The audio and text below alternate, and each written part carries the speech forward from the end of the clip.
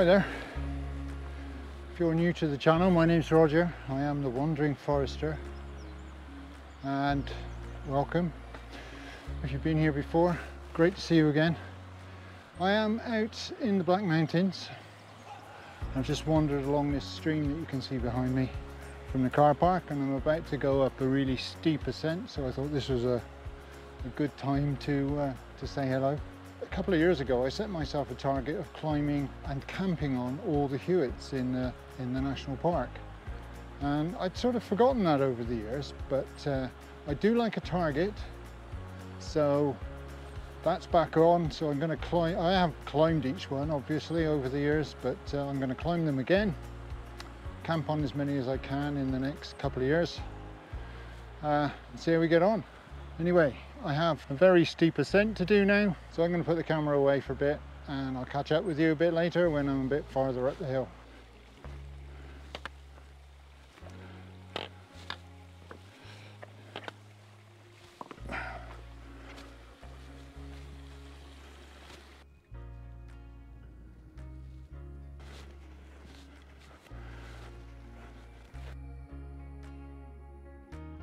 near the top now.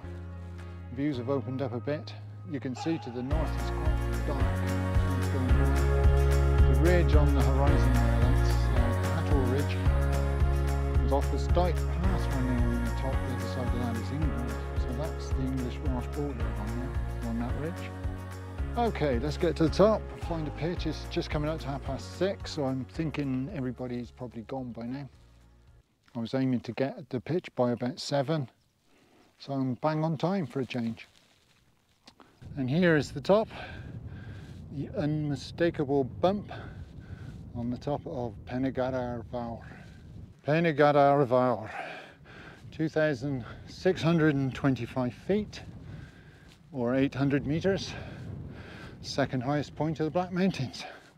Highest point is about a mile and a quarter up that way, Waun Fach, which is a whole 30 foot higher.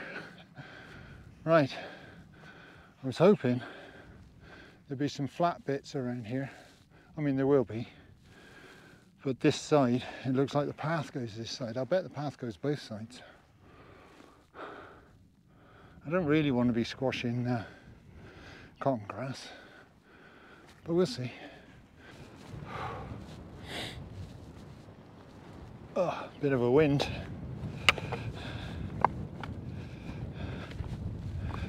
Ding, Pen y Gadair Fawr. Quite the view. That's uh, up there. Powys. It's Mynydd Troed, I guess. There's the main beacons over that way. Usk Valley between here and there. Coming around that uh, bump, Sugarloaf, South Wales down that way. Okay, time to find somewhere a bit sheltered out of this wind, which is, it's not very strong, but it's bitter cold. We'll go this way, I think. Okay, all set up now. Got my pitch.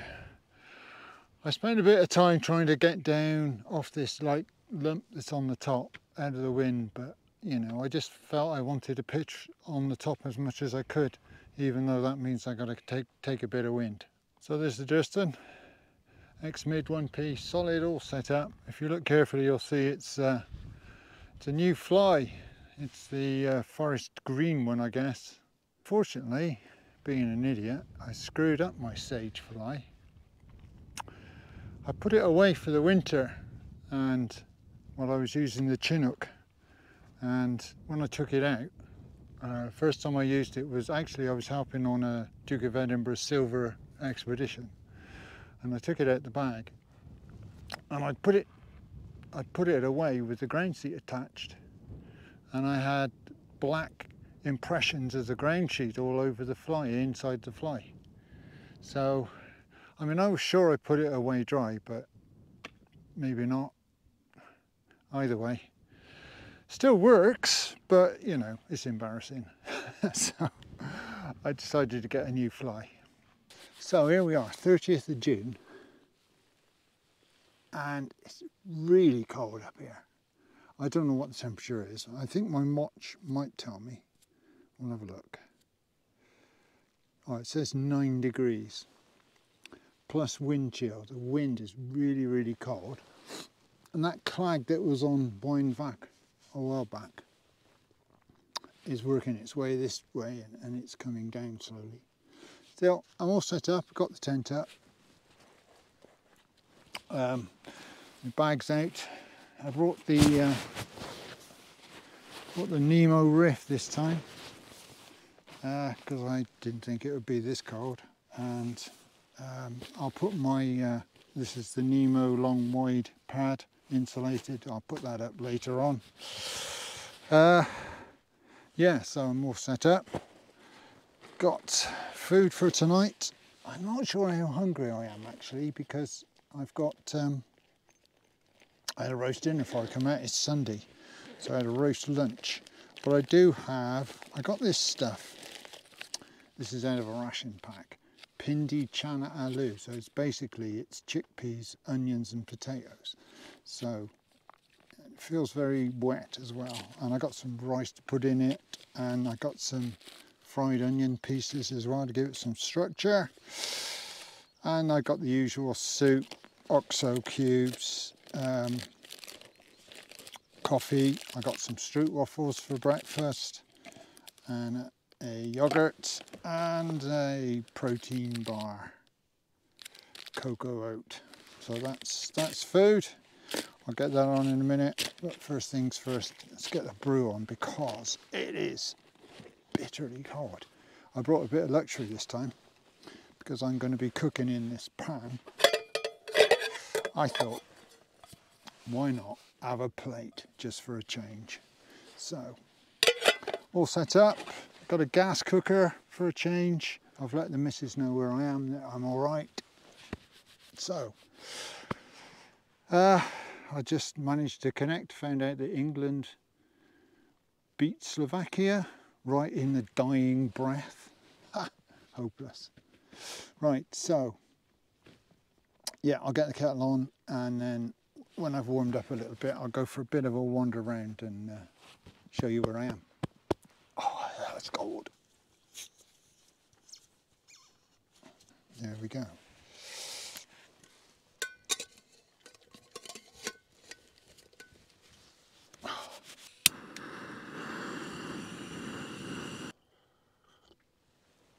Well, the clag's right in now. I can see probably 30 yards, but there's no view at all. had to resort to the puffy jacket.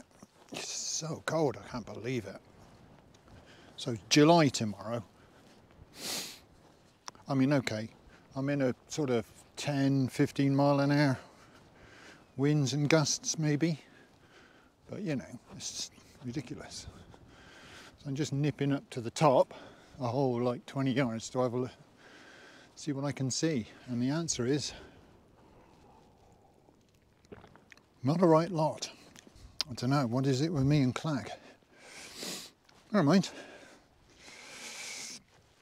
Oh, I was watching a video today by Alan Metalman, who was up, is it Amboth Crag, Armboth Fell and High Tove up in the Lake District on uh, National Walking Naked Day.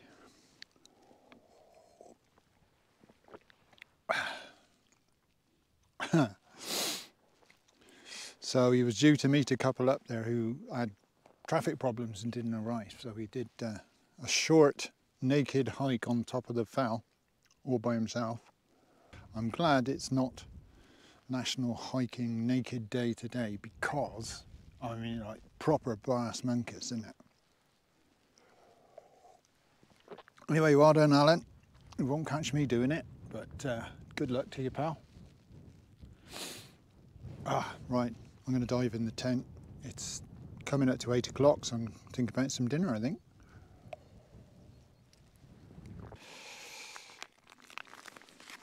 Let's see what's in here then. I have no idea really. Ooh.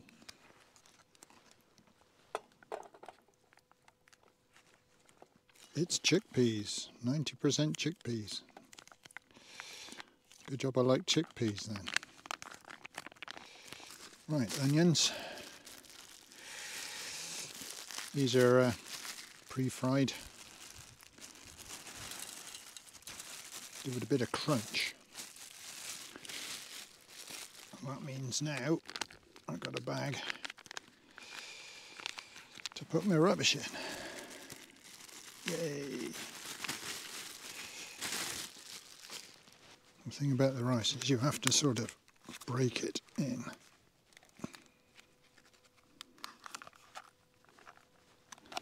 Comes as a oops, comes as a lump, so you've got to. I have washed my hands, in case you're wondering.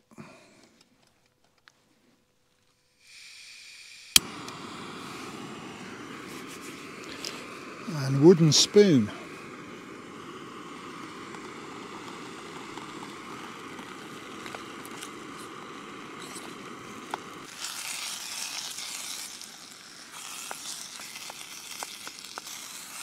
The problem with the cooker, of course, is that the heat is confined into the middle, isn't it? Pindi chana aloo with onions and curry powder and rice. That's not bad. I don't know if I, yeah, I've said this before, but that's the last piece of yeah, it's the last bit of the uh, ration packs. Hmm.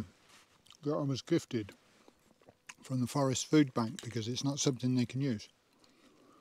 So thank you very much via Martin Williams. Cheers, pal.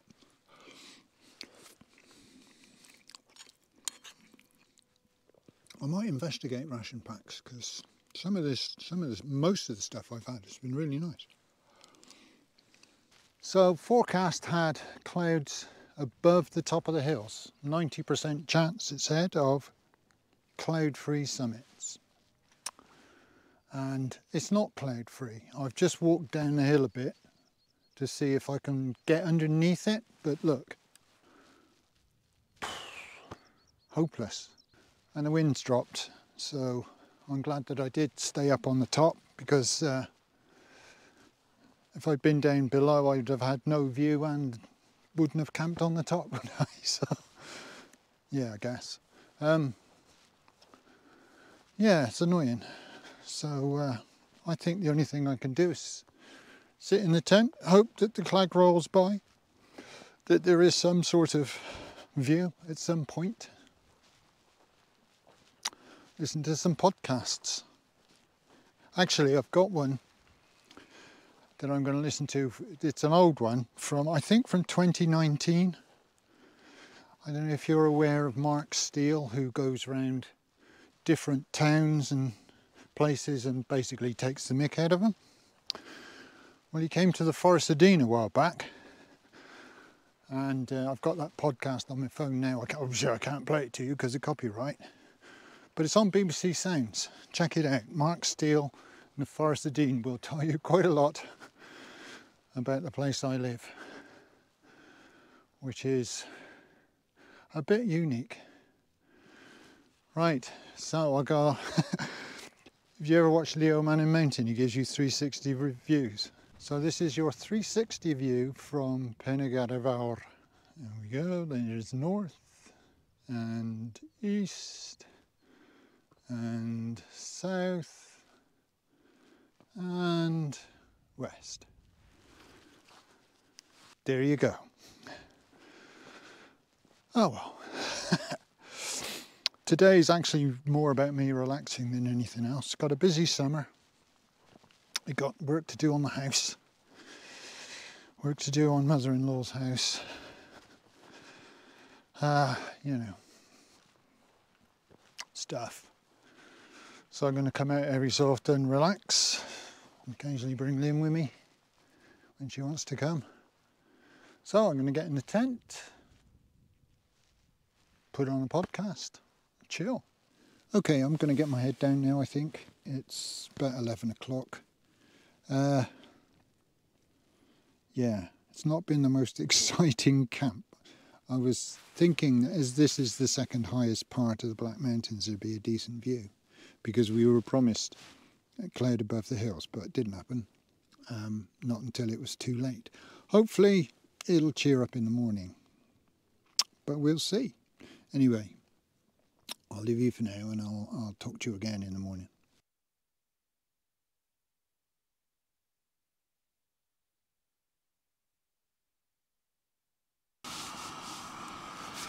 Good morning. Kettle's on. It's about quarter to six coming up and it's cold. Slept okay. Fell asleep pretty quickly actually. Um, woke up just just after sunrise. Such as it was, just a lot of slim, slim, slim uh, like a finger of red in between two clouds and that was about it. Anyway, kettle's on. I'm going to get up and get out of here.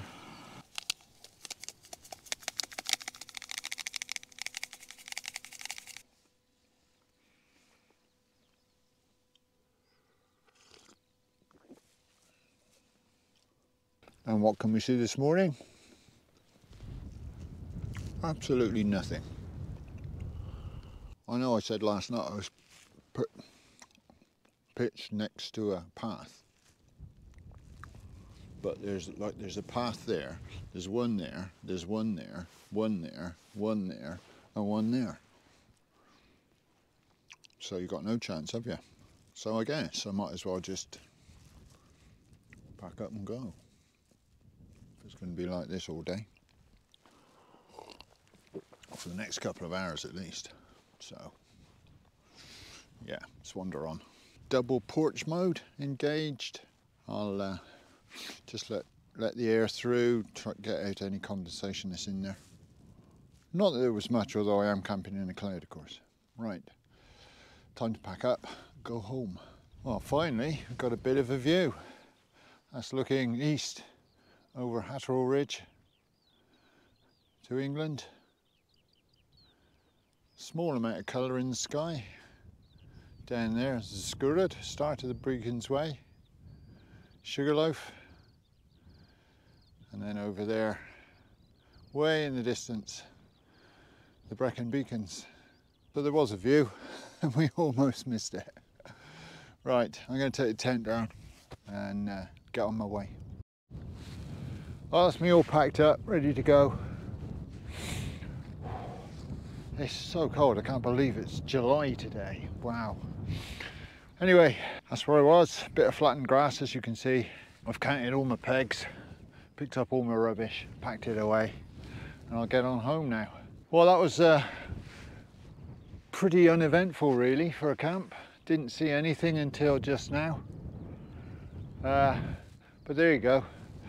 Anyway, hopefully the next one will have some sunshine and a bit of warmth and maybe I'll see you then. Thank you very much for watching. I'll see you again.